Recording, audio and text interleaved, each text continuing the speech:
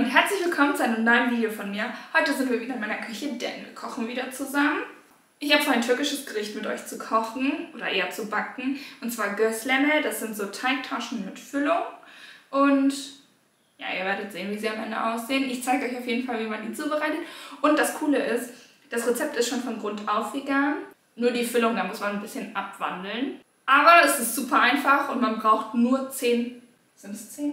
1, 2, 3, 4, 5, 7, 8, 9, 10. Man, 1, 2, 3, 4, 5, 6, 7, 8, 9, 10. Man braucht nur 10 Zutaten. Das ist ganz nice, weil ich bin ein bisschen faul, beziehungsweise ich mag es unkompliziert. Und ja, da finde ich dann immer nice, wenn man nicht so viele Zutaten braucht. Ja, und 10 Zutaten sind jetzt nicht so viel, vor allem, weil man das meiste eigentlich zu Hause hat. Und können wir bitte appreciaten, dass ich mir extra eine Jeans für euch angezogen habe? Sieht man das? Ja. Heute war so ein Tag, da habe ich nur Jogginghose rumgegammelt. Deshalb bin ich ein bisschen stolz auf mich, dass ich Jeanshose angezogen habe. Ja, ich würde sagen, wir quatschen jetzt nicht so viel rum und fangen direkt an. Hier seht ihr einmal alle Zutaten, die wir benötigen. Die packe ich auch unten in die Beschreibung mit den zugehörigen Mengenangaben. Als erstes packt ihr alle Zutaten in die Schüssel.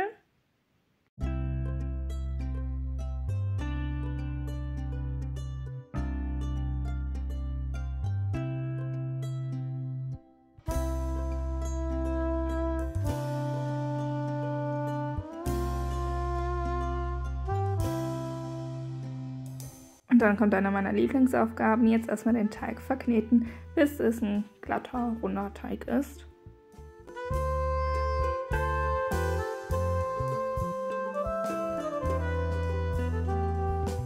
Wenn ihr fertig seid, packt ihr ein Tuch drüber und lasst den Teig noch an einem warmen Ort gehen. Und in der Zeit könnt ihr dann schon mal die Füllung zubereiten. Dafür waschen wir Spinat und Petersilie und den Spinat echt gründlich waschen, weil da mal so viel Erde noch dran klebt.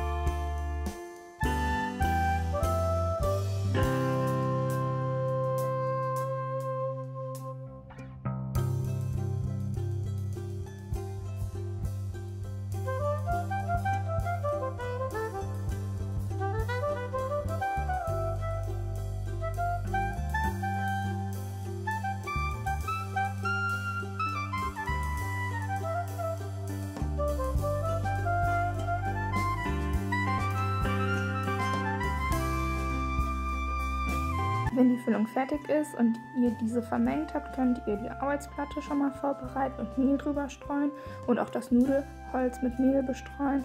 Und dann könnt ihr den Teig auch schon ausrollen. Wichtig dabei ist, dass er auch so dünn es geht quasi ausgerollt wird.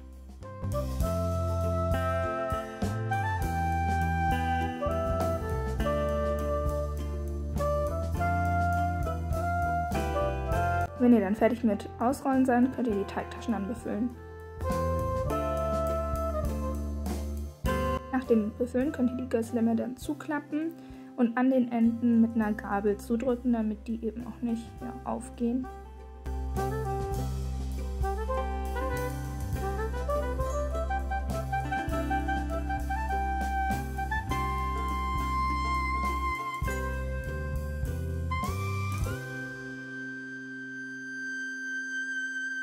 Das macht ihr dann mit dem restlichen Teig auch und hier seht ihr meine fertigen Gößlemme. Dann könnt ihr in einer Pfanne Öl erhitzen und dort die Gößlämmer zubereiten. Ich mache es aber auf einem Crepe Maker, weil ich es darauf persönlich leckerer finde.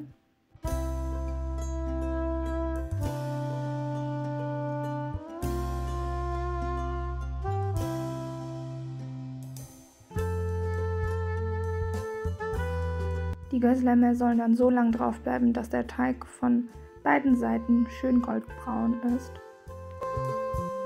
Hier seht ihr dann die fertige Gößlemme, richtig schön präsentiert von mir. Nicht. Was geht? Ich bin fertig mit Kochen und jetzt probieren wir das Ganze. Guten. Heiß. Oh, heiß.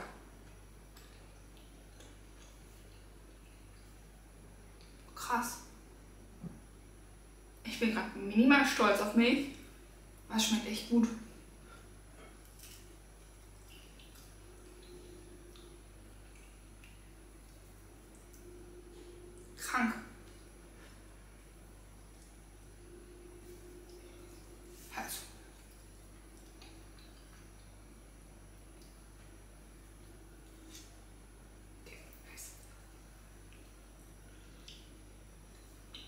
Möchte auf jeden Fall in Ruhe schnell weiter essen. Ich kann nur sagen, ich kann es jedem empfehlen, nachts machen. Es war auch wirklich nicht schwer, es war wirklich nicht aufwendig.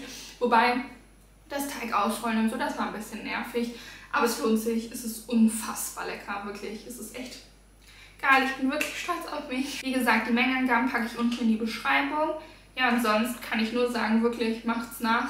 Wirklich eine große Empfehlung geht da raus von mir. Dann sind wir auch schon am Ende des Videos. Ich hoffe, es hat dir Spaß gemacht zuzusehen. Bei Fragen oder Anregungen schreib es mir gerne in die Kommentare. Wenn ich irgendwas anderes ausprobieren soll, schreib es mir auch gerne in die Kommentare. Und sonst sehen wir uns beim nächsten Mal. Ciao!